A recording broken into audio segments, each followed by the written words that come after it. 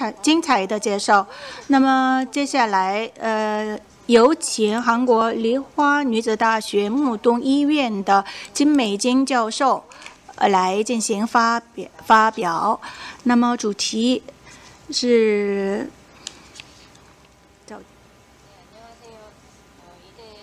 大家下午好，我是梨花女子大学呃妇女肿瘤科的金美金。我今天能够在这里进行发表，感到非常荣幸。非常感谢向阳教授的精彩的呃介绍，也非常感谢您给我们分享的视频内容。那今天我要呃介绍的内容跟向教授的内容是相当呃。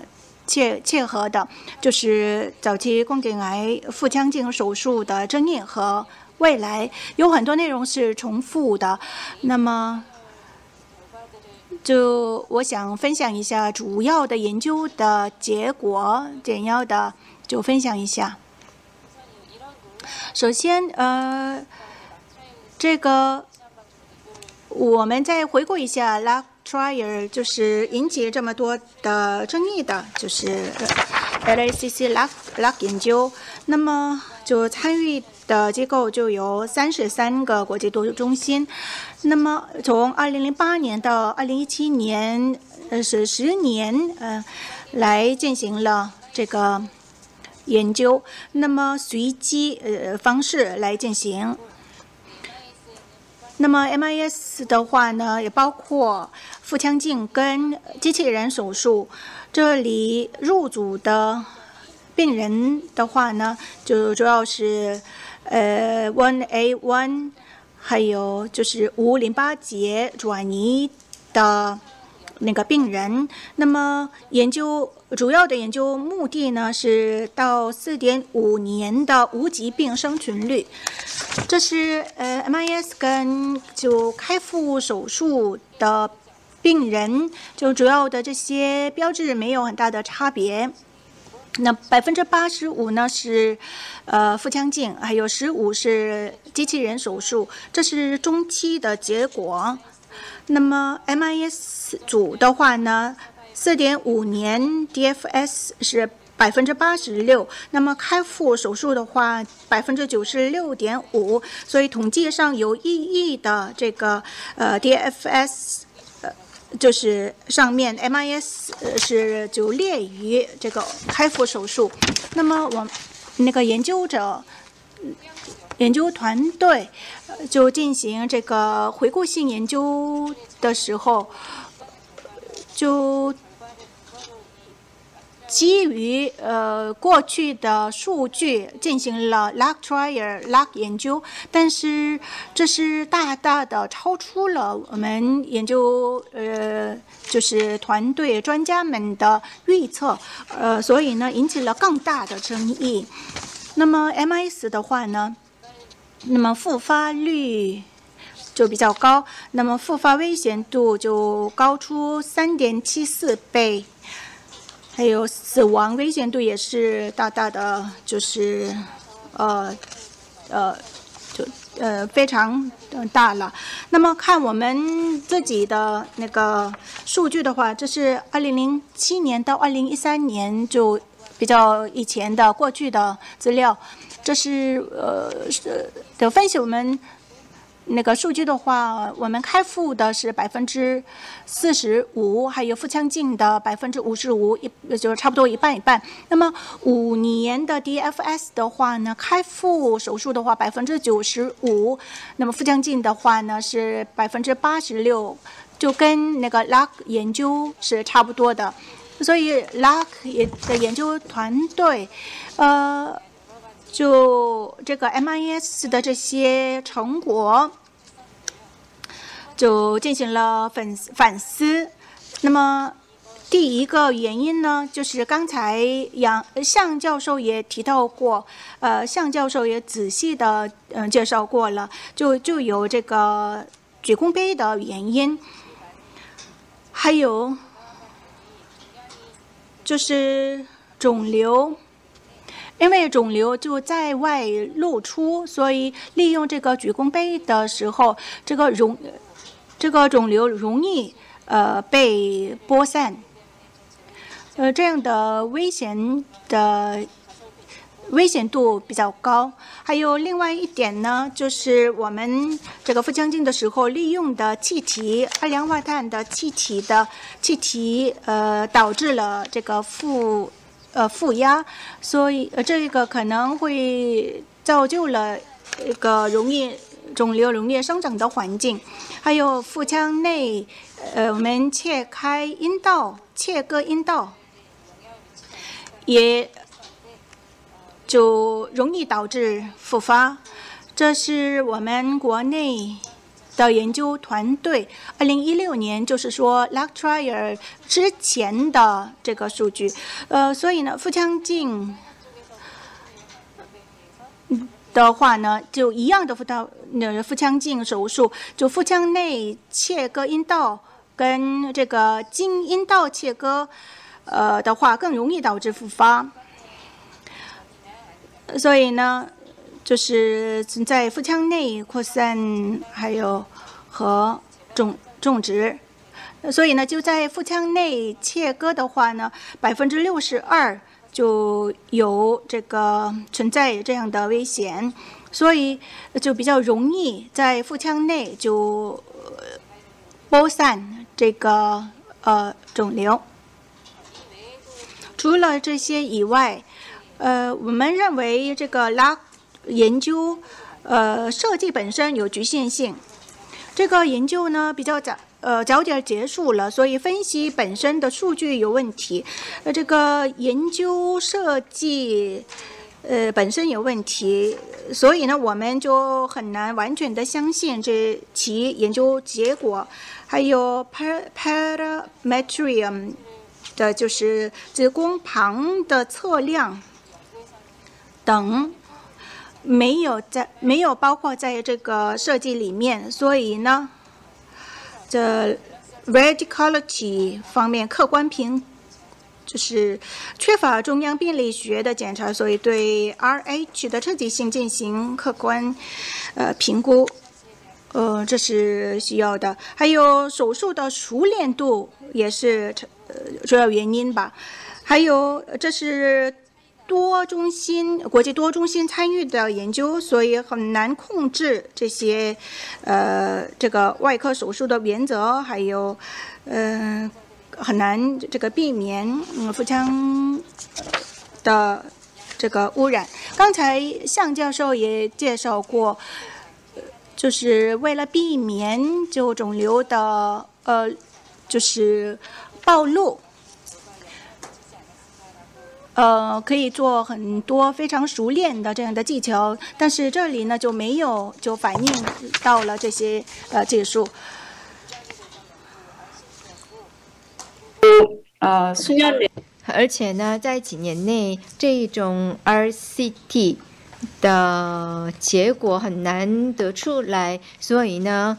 我们不能完全忽视 Luck Trial 的结果，所以我们这个妇瘤学会和大韩呃产妇产科呃学会和内镜学会呢，我们就根据 Luck Trial 的结果呢，呃做了第二年的 Position Status，看一下其内容。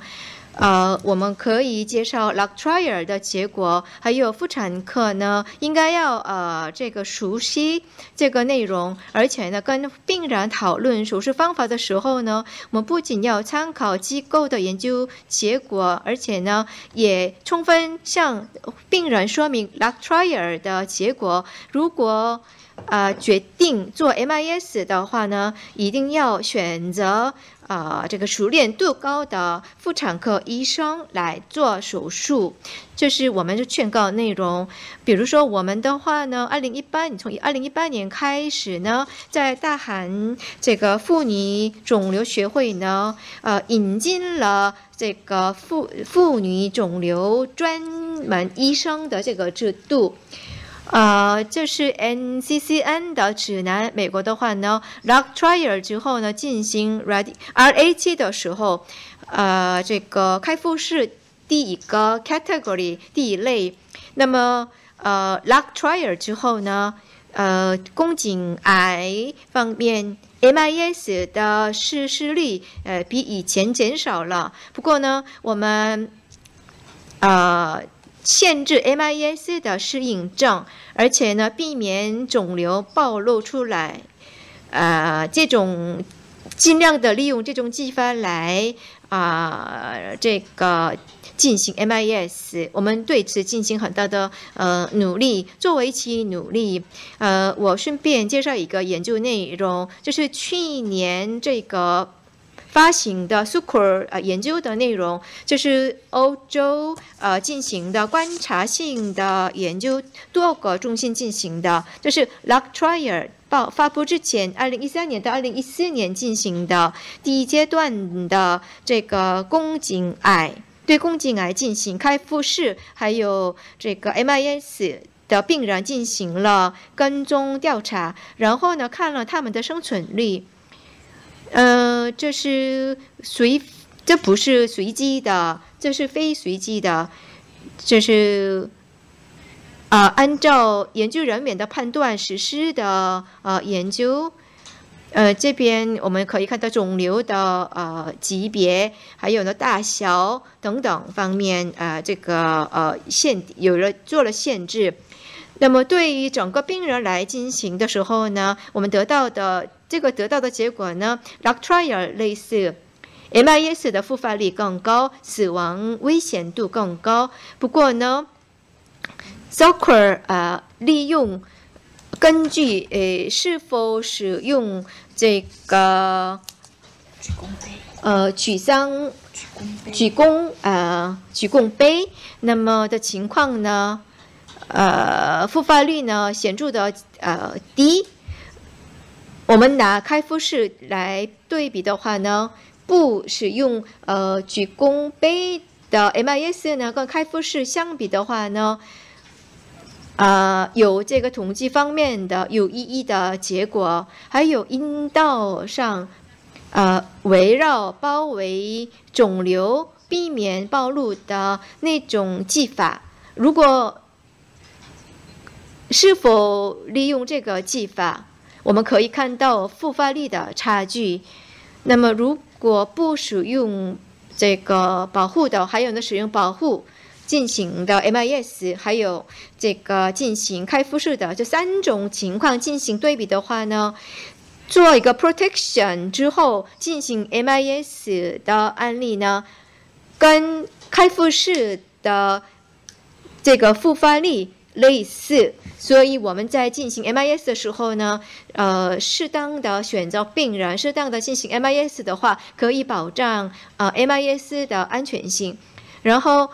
嗯，因为就是经过 RCT 来，啊，我们应该要做经过 RCT 来得出这个结果。除了这样的手术技法之外，如果肿瘤的大小小于啊，就二公里的、二厘米的，而且呢，其深度并并不深的，就是早期的宫颈癌方面。我们可以呃建议 MIS 的方法，而且刚才向教授也说过很多的 protection 的方法，就是很多研究者呃建议的。不过呢，这种方法呢还没有得到共识。然后呢，应该要标准的话，就是以后的课题了。嗯，可是最重要的呢，Luck Trial 之后，啊，我们进行了这。个只只有类似的 RCT 的结果，才帮助医生选择手术方法。目我据我说呢，中国方面也在进行的 RCT，还有也有利用机器人的呃那种 Rock Trial 啊。那么这些结这些研究呢，结果呃以后公布的话。我相信呢，我们在跟病人这个商量手术方法的时候呢，会有更大的帮助。谢谢大家的聆听。金美金呃教授，非常感谢您的精彩呃演讲。那么呃，就早期腹呃宫颈颈呃宫颈癌的腹腔镜手术的问题，呃，两位教授进行了。这个演讲。如果有问题的话呢，请各位呃就提一下。呃，我向向教授有一个呃问题。刚才您给我们看的视频当中，CGOG trial 的设计，看这个设计的话呢，开腹呃组跟这个 MIS 组的话，不是 RCT，而是而是就是呃观察组的吧。呃，是怎么样的呢？RCT 吗？呃，据我所知呢，目前中国正在进行 RCT 的这样的研究。呃呃呃，其情况如何？能不能介绍一下？嗯，好的。呃，非常感谢您的问题。那其实关于我刚才讲的 CDOG 的我们这个研究，它是一个 long randomized。是一个非随机的前瞻性的督导研究，类似于一个 real world 真实世界的一个研究。因为怎么说，如果在那个研究出来以后，我们依然还把宫呃腹腔镜和开腹来做一个 randomized，呃，这个不大可行。因为首先伦理学上就过不去，因为有这样的一个研究出来说你腹腔镜手术有这么高的风险。那我们就没法随机了，我们没有跟病人谈腹腔镜的风险，开腹的怎么样？所以病人如果谈完以后，我选择开腹，那我 OK，我们就走开腹了。呃，有的病人说，哎，我依然同意同意腹腔镜，我就走腹腔镜。它是一个 long randomized 一个 trial，呃，当然这个比那个随机的这个研究证证据级呃这个级别来讲，可能是要差一点，但是它确实是一个类似于真实世界，而且样本量很大，哎，我相信。这样的话呢，我们也一定能得出一个很好的结果。当然，我们中国也在同时还在另外一个团队也在开展啊这个前瞻性的随机的，呃，但是呢，这个问题就是，哎，这因为另外一个项目我没有参加，我不知道最终的结果会怎么样。就是他们的随机的，因为这个随机实事求是讲，嗯，这伦理学上是很难再通过的，应该是。那么我们这个非随机的已经封组了，我们有两千多个病例，所以它是一个非随机的，所以它两个数据一定不是百分之百匹配，哎，基本上应该是差不太多，所以我们还等待呃一个最后的一个随访的一个结果的出来，呃，但是无论怎么样，我们这个非随机的这个，即使是做的这个腔镜，我们的腔镜的这个呃 procedure，这个一定是要有改良的，modify，modify 就是包括我们。不鞠躬，包括我们切开阴道的方式，都是要有要求的。有，这是我的回答。谢谢。主持人好，我可以问一个问题吗？问 Kim 教授，能听到吗？嗯。好的，呃呃，特别高兴在听到 Kim 教授的这个呃精彩讲座，呃，我也知道 Kim 教授他们也曾经在这方面有很多的文章的一个 paper 的发表，就是在 LAK 研究之后，我我特别想知道的是在韩国，呃，因为曾经我也跟韩国的呃金文 Kim 教授也做过一些联系，也也也问过他们，就是我想知道在目前总体的大的形势下，在腹腔镜。在韩国，用于宫颈癌的治疗是什么样一个现状？就是说，是所有的病人，还是有选择性的病例？比如说小于四公分的、小于两公分的，依然还做腹腔镜。另外，就是腹腔镜的做腹腔镜的病人，他们这些方法是不是有了改进？比如说，是不是不用举弓杯了？呃，还是用什么样的方式？以及切开阴道穹窿的这个方法是在气腹下切开，还是哦在？经阴道的 transvaginal 的一个切开，呃，这个有没有一个呃一个改进的方法？谢谢。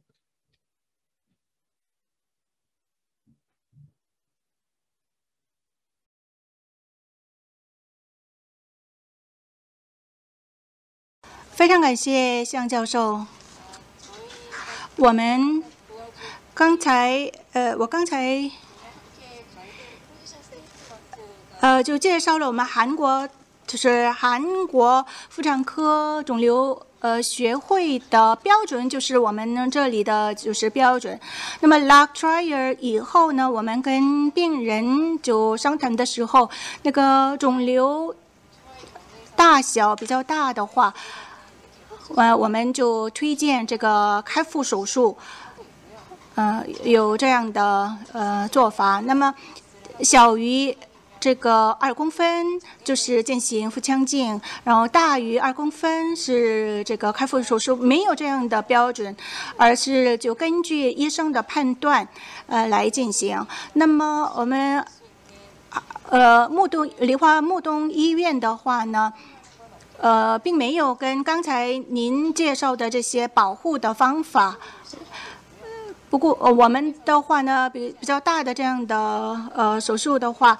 我们还是开开腹手术，但是如果是小的，就在外部很难就看到的这样的小小的这个肿瘤的话，我们跟病人商谈后呢，就进行腹腔镜手术。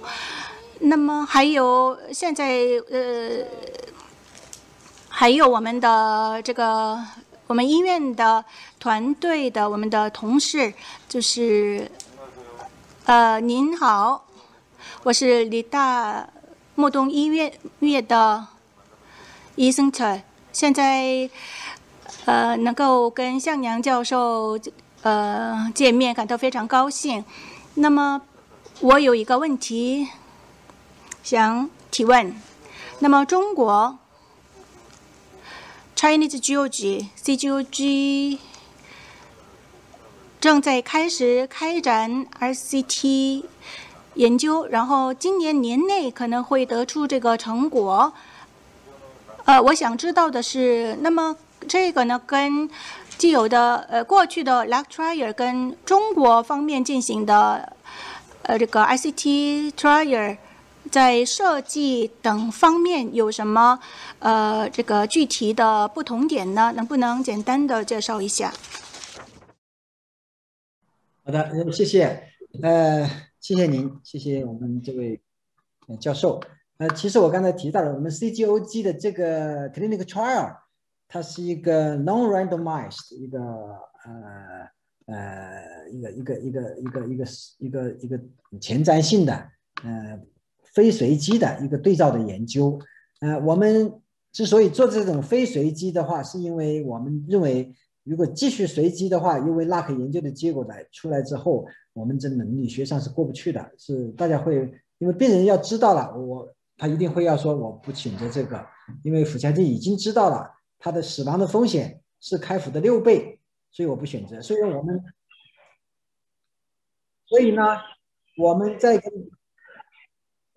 交代的时候呢，我们会跟病人做一些交代，我们会改良最大的一个一个我们这个。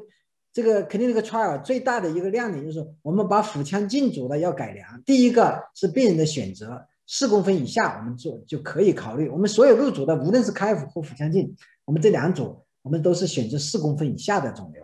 如果四公分以上的，他就不入我们这个肯定这个 trial 了，他就做别的去了，对吧？就不参参加我们。我们在只只是对于四公分以下的，我们既可以选择腹腔镜，又可以使用开腹，这是第一点。第二点的话呢，我们在做腹腔镜的这一组呢。我们是要 modify 这个 procedure，这个要改良的。它这个技术，比如说我刚才谈到的，我们 manipulator 不用，不用这个 manipulator，不用这个举弓器，uterine manipulator 是 give up。另外呢，就是我们用的是呃吊弓，就是把子宫缝起来，这是一个方法。第二个就是这个穹穹窿切开的时候，就这个 carve 切开这个阴道穹窿，我们不是在腹腔镜下气腹下切。而是在阴道外把子宫拽出来直接切，或者把阴道给它闭锁。要刚才它把阴道给它闭锁以后，用一个结扎环闭锁以后再切开，就保证这个 tumor self 啊 tumor free 吧，我们叫肿瘤无瘤的一个原则，就肿瘤不接触这样一个原则。所以说，我们这个选择在腹腔镜组的病人也是要进行改良手术以后再去做腹腔镜的。嗯，当然这样的一个结果，我们还需要等待。更长时间的一个随访来说明问题，嗯，估计还得有一两年的时间，可能会有一个初步的结果出来。现在入组已经关闭了，因为已经呃每呃将近我们两千多个病例已经入组已经关闭了。谢谢。哎，非常感谢您的介绍。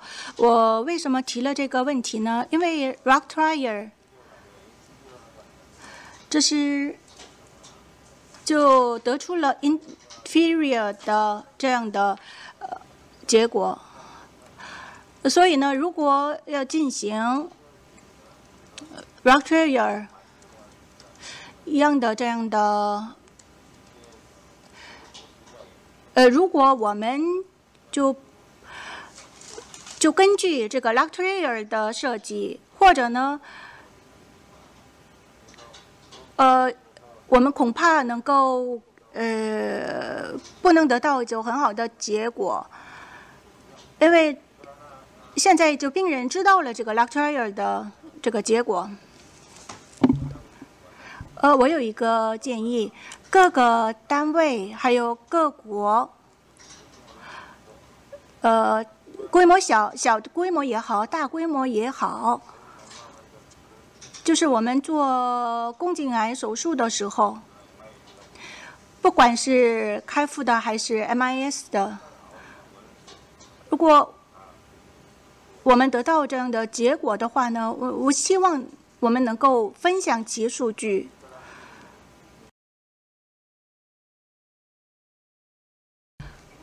诶，美国 Slam c a p t u r y Memorial 方面就发表了一篇文章，就 Operable Case，就是手术 Laparatory，还还有就是开腹的机器人的，就包括在内。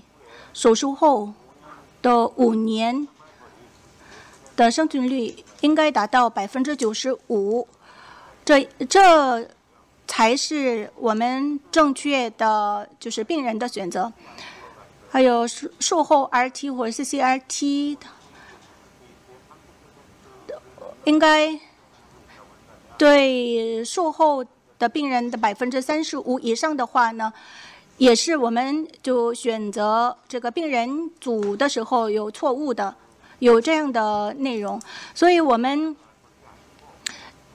医生不应该就是有对所有的病人就做一种手段的呃手术方法，应该是更加正确的、更加准确的采用手术方法，还有是 G O G 方面。刚才向教授也提到过这个设计方面的困难点，呃，不过呢，就是举弓杯的利用方法，还有我们，呃，刚才您介绍说就是肿瘤大小就是四公分，那么如果我们就对这些这个标。志等方面有一个能够得得到一些共识的话，以后会呃得到更好的就是结果吧。我们能够有更好的一种标准的话，像这个病人介绍的时候，呃，有很非常踏实的这样的就是根据吧。非常感谢您的介绍。那其实关于。宫颈癌目前我们用微创手术，无论是我们做 clinical trial，还是一些我们的这真实世界的一个 real world 的一个情况，我们对内镜的话，肯定是采用这种微创技术的话，那肯定是非常的小心。哎，因为的确 luck 研究，无论各呃不同的专家可能对他的看法不一样，更多的还是一些挑他的毛病。但是从我们认为，它更多的还是一个正向的一个结果，提醒我们。微创手术，特别是腹腔镜的技术，在宫颈癌当中是存在问题的。如果我们不改进这样的一个技术，病人一定是有他们的这个以他们牺牲他们的这个生存结局为代价的。这一点应该是无可呃是没有质疑的。刚才我们这位教授也提到，确实，如果我们依然还按照 Luck 研究去设计这个临床试验，肯定是不行的，因为病人无法跟病人去解释。就像我刚才讲，真能力学上也是过不去了，因为能力学你已经有这样的一个研究出来了，告诉你这个腹腔镜的手术，它的复发风险要明显的高于这个开腹，它的四点五年的 PFS 比我们开腹的要小将近百分之十，我们的死亡的风险要高出六倍，所以这谁还能做这个腹腔镜呢？病人肯定选择开腹，这是没有问题的。但是我们也不能说完全否定了腹腔镜的一个价值。就像我刚才谈到的一样，一个新的 idea 的一个新的技术的出来，常常可能给在人类的发展的过程当中是一种阵痛的一个过程。那么这种阵痛的过程也就说明了这样的一个技术的一个不完善，一个不完美。所以呢，我们在随后的临床的 clinical trial 里面，我们也都进行了改进，包括最为关键的几个部分，就是我刚才反复强调的，一个是举弓杯，我们 give up，我们不用这种举弓杯去不去挤压，我们叫。不去挤压这个肿瘤，就像类似于模拟开腹的途径，不去挤压它，我们只是把子宫底部缝上以后给它吊起来，这样同样可以保持一个 tension 一个张力来分离这个组织。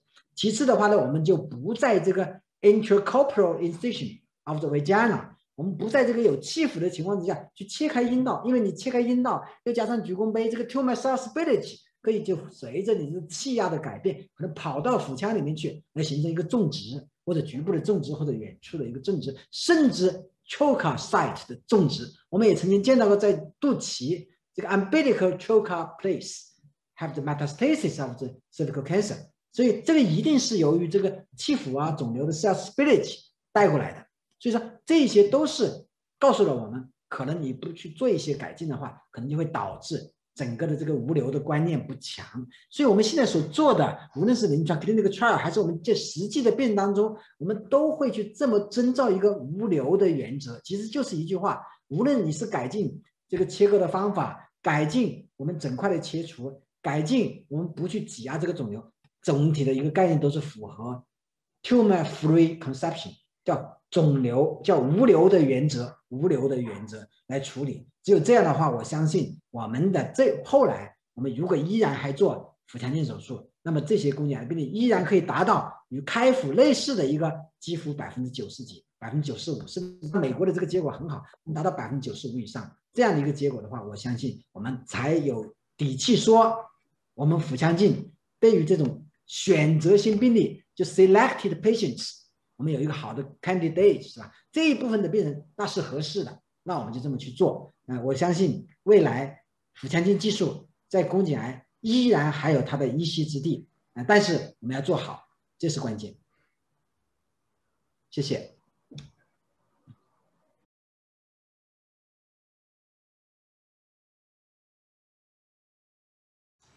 向阳教授的呃这个发言内容，我完全同意。